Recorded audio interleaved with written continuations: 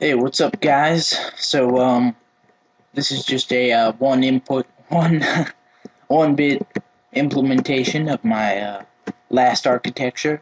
So basically, we got the outputs, register one, register two, and the ALU's output. And then we have the uh, two selectors, the A selector, which um, takes one of those three inputs and then selects one of them to be the output of the A selector, and then then and then there's the uh, B selector, and then it takes you know the three inputs and then chooses one of them to be the output, and um, yep, and then this uh, selects one function to perform to these two inputs, and then the clock you know changes the memory. And then the write to this this kind of just that was lazy so I just put that right there. I mean you, I kind of need it but I didn't want to incorporate it into any of the other inputs I could have but yeah. So that base that writes a 1 to the A selector. And um, yeah that's about it for that. So let's just show some functions. And um, so first, let's select like uh, the this. Let's select uh, register two, which is one. So we select register two, one zero, and then let's select register one, one one, and then we'll perform XOR, and then calculate, and then when we activate the clock, it gives us 0 because 1 and 1 XOR is 0.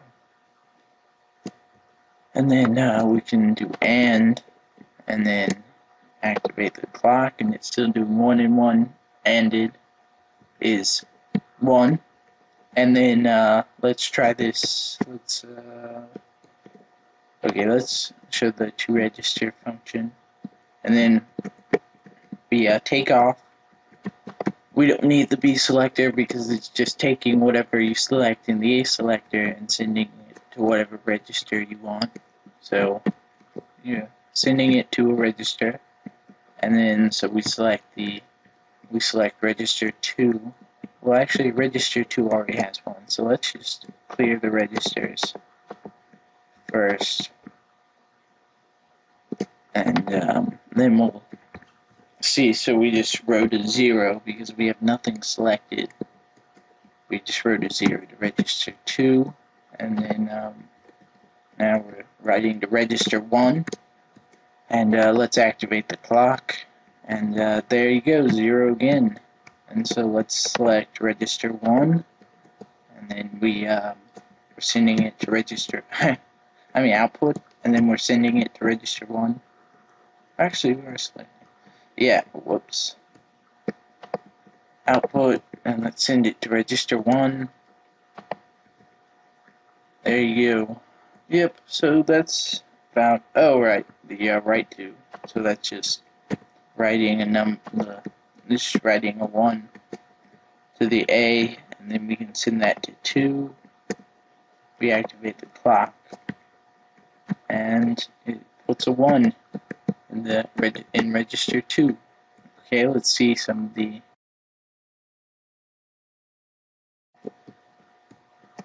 uh, stuff going on behind the hood. So uh, let's see. Uh, this is the output bus.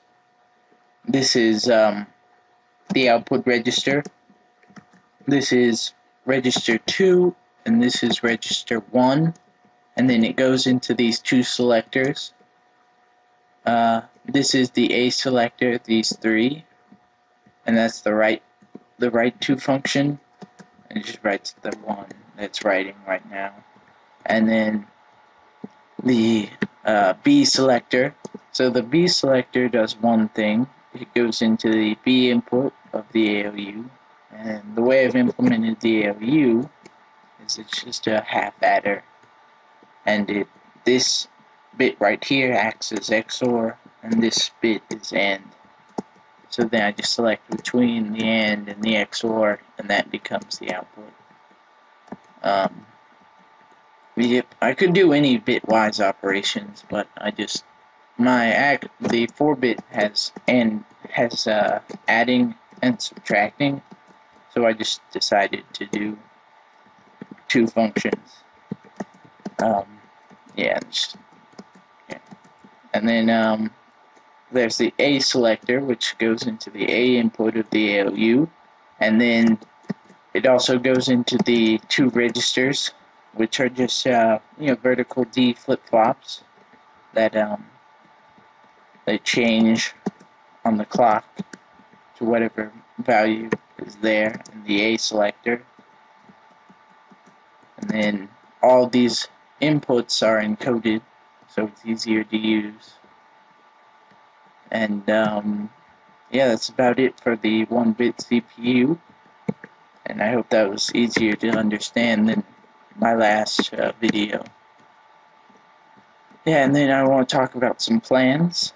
So basically, I'm going to have uh, two screens, and um, oh, I'm making a 16-bit CPU with JoeMeister 15, and it will run kind of like an OS, and so that will be cool. And it will be, it'll have two screens, and those screens will be able to display a letter or a number, and then based off of an input, you know, one or zero, and some other inputs, um, you'll be selecting one of the two screens, and then you can access things like if you select this one, you'll be directed to files.